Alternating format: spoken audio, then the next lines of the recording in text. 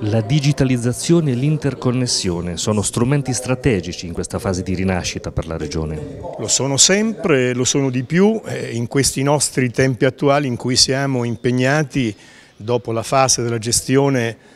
eh, dell'emergenza nella fase della ricostruzione e già questi strumenti hanno dimostrato di quanto siano stati importanti per far dialogare innanzitutto le comunità tra di loro, le comunità sociali, politiche, istituzionali che altrimenti non ce l'avrebbero fatta. Sono strumenti tra l'altro indispensabili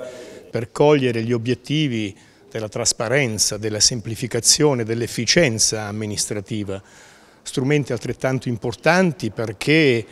attraverso ad esempio la trasparenza che viene garantita dalla possibilità di accedere, no? attraverso questi strumenti noi costruiamo quel ponte di dialogo tra